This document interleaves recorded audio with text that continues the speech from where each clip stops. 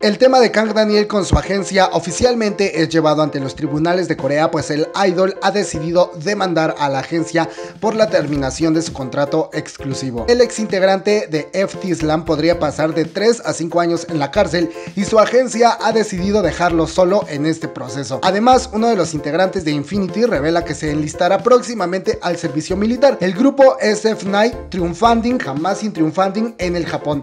De estas y otras noticias, entérate en este video. Hola chingus, ¿cómo están el día de hoy? Bienvenidos a un nuevo video de chisme coreano con Shiro de Shiro no Yume. Yo sé que me extrañaron toda esta semana, ya estoy mejor de la gripa. Todavía se escucha mi voz un poco rara, pero eso no va a ser impedimento para que el día de hoy tengan su dosis de chisme coreano. Vamos a darnos un respiro con todo lo que está pasando con Sungri, con Waji, ¿no? Porque sí vamos a hablar de Waji el día de hoy. Antes de eso te recuerdo que te puedes suscribir picándole al botoncito rojo que dice suscribirse activa las notificaciones. Es súper importante para que así YouTube te avise cada que yo suba un nuevo video. También te recuerdo que me puedes seguir en todas mis redes sociales. Si te sale un anuncio en este video, no lo omitas, velo please, porque así me ayudas a que te pueda seguir trayendo nuevos videos. Oigan, no es por presumir, pero se me ve una piel. Híjole, y eso que estuve enfermo, ¿eh? Neta de que usar productos coreanos en la face es súper recomendable. Miren, o sea...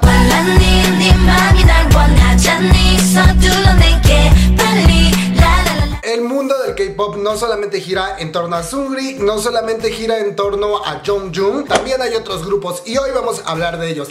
Recuerdan que hace algunos videos atrás les comenté, les informé que Kang Daniel estaba en una disputa con su agencia debido a ciertos temas con su contrato que él quería arreglar porque no le parecían justas. Después de eso se informó que él había contratado un abogado para que se hiciera cargo de todo este asunto. También se reveló que hasta el momento, desde el día en el que él firmó su contrato, el día primero de febrero hasta ese momento, que era como por la primera semana de marzo, no había tenido contacto con su agencia, no se habían visto, ya que todo se estaba arreglando a través de los abogados. A pesar de que Kang Daniel en ese momento dijo que lo que él menos quería era llegar a instancias legales, es decir, entablar una demanda en contra de su agencia para que fuera la ley coreana la que se encargara de regular el contrato, ahora ya se dio el informe de que Kang Daniel llevará este caso ante la corte coreana. El abogado del idol informó hace un par de horas que el asunto ya fue llevado a la fiscalía, que el asunto ya se llevó ante las oficinas de la corte coreana para que la corte intervenga, para que todo este asunto se pueda arreglar a través de una demanda por parte de Kang Daniel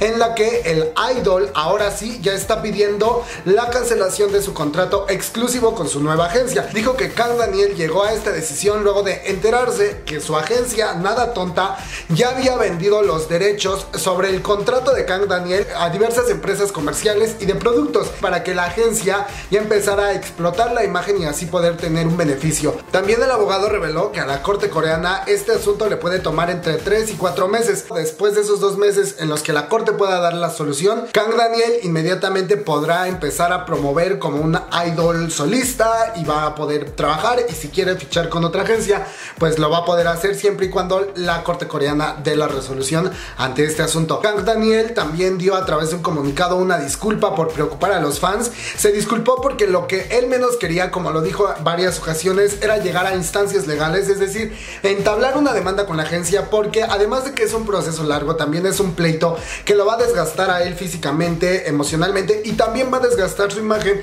dentro del público coreano, porque un escándalo como este inevitablemente va a tener consecuencias para su imagen y su exposición dentro del público coreano. Ustedes acá abajo en los comentarios díganme qué opinan acerca de esto, porque si bien sabíamos antes que las agencias que esclavizaban a sus idols era SM Entertainment, era YG Entertainment, era JYP Entertainment, agencias de gran renombre y agencias demasiado grandes, pero en los últimos años estas agencias, al menos JYP Entertainment y SM Entertainment, son agencias que han mantenido un bajo perfil y que, le han, y que además le han dado mucha libertad a sus idols y los han posicionado bien en el mercado sin tanto escándalo, a diferencia de muchas otras agencias pequeñas. Choi John ex integrante de Slam, podría pasar de 3 a 5 años en la cárcel. Recientemente, Never, a través de su portal especializado en noticias fiscales, reveló que si las investigaciones que actualmente están en proceso en contra del ex miembro de Slam llegaran a inculparlo, el idol podría pasar inicialmente 3 años en prisión. el idol actualmente está siendo investigado por compartir material sexual ilegal en video e imagen a través de una sala de chat con más personas. También por hacer uso de sus influencias para evitar castigos y censurar a la policía al conducir ebrio en el año 2016. Pero además, la especialista en delitos Kim Jung dijo que por cualquiera de estas acusaciones podría pasar tres años como mínimo en la cárcel. Pero si además de eso se revela que él estuvo involucrado en la grabación directa del material sexual, la situación cambia por completo porque podría pasar hasta cinco años en prisión. Obviamente todo esto son proyecciones en caso de que la idol sea declarado culpable, pero actualmente aún está siendo investigado. Ante esto, la agencia del idol decidió dejarlo solo en el proceso, pues ha informado al público que luego de platicar con el idol llegaron a la decisión de terminar su contrato con él y terminar su relación laboral y la de representación. La agencia dijo que ellos han informado todo lo que el idol ha declarado, pero debido a que sus declaraciones son contradictorias, ellos han decidido romper su relación de confianza ya que el idol no ha mostrado su sinceridad en sus declaraciones. Y hablando de las agencias de K-pop, YG Entertainment no para de estar envuelta en nuevos escándalos y es que recientemente la agencia a través de un comunicado oficial informó al público coreano que cooperará diligentemente con la investigación fiscal del Servicio Nacional de Impuestos. Esto luego de que hubiera reportes de que YG Entertainment estaba envuelta en evasión de impuestos y que no informaba al gobierno coreano de ciertos negocios que le redituaban mucho dinero. También esta medida por parte del Servicio Nacional de Impuestos de Corea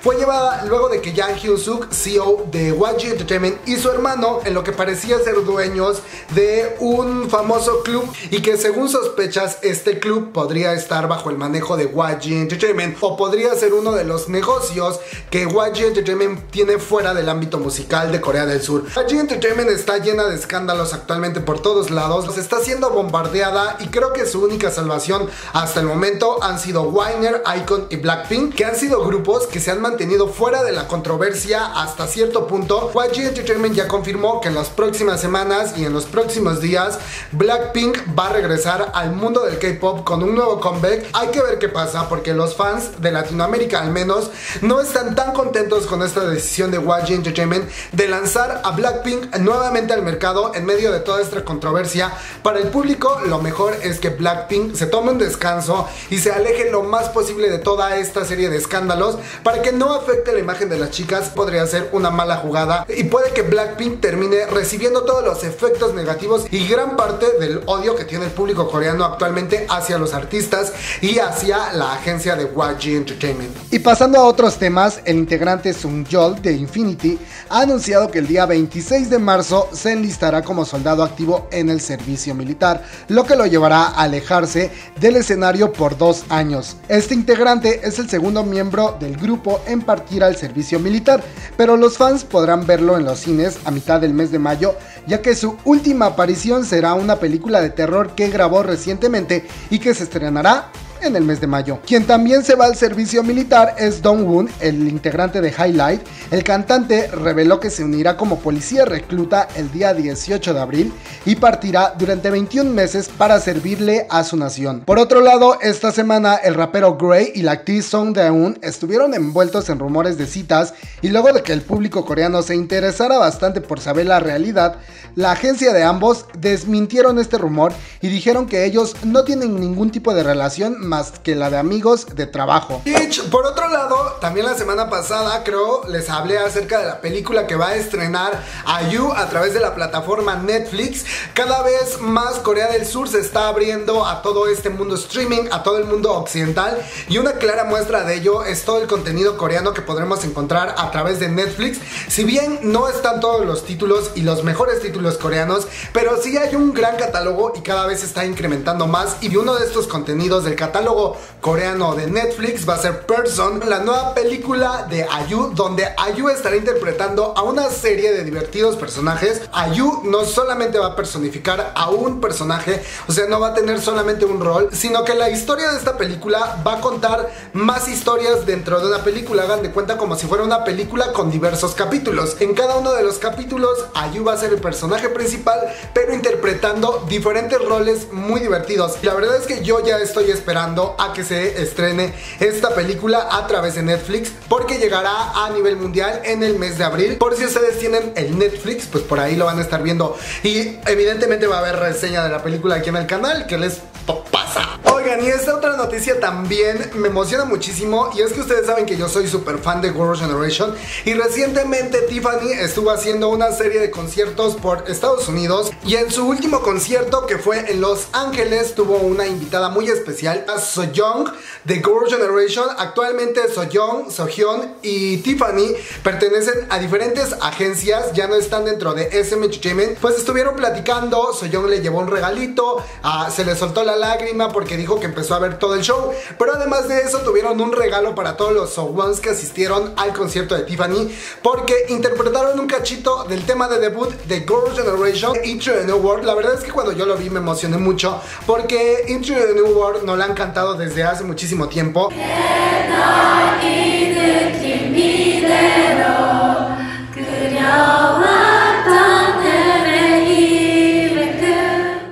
Último, el grupo SF9 ha dominado las listas de ventas en Japón con Illuminate, pues se han colocado en el número 2 del top Oricon del Japón y a menos de una semana de su lanzamiento en japonés, que por cierto es su segundo álbum en ese país, el grupo ha demostrado que son un grupo de gran presencia en el país del sol naciente. Y pues bueno chicos, hasta aquí el video del día de hoy, espero y les hayan gustado estas noticias, no olviden suscribirse al canal, activar las notificaciones, seguirme en mis redes sociales y estar al pendiente de todo el contenido que estoy subiendo en este que es mi canal principal, donde hablo de todo lo que está pasando dentro del K-Pop, donde les doy reseñas, reviews, y donde les doy recomendaciones. Pero también si tú eres fan de BTS, tengo un canal específicamente de BTS donde solamente hablo de ellos. En la caja de descripción te voy a dejar el link para que vayas y lo cheques.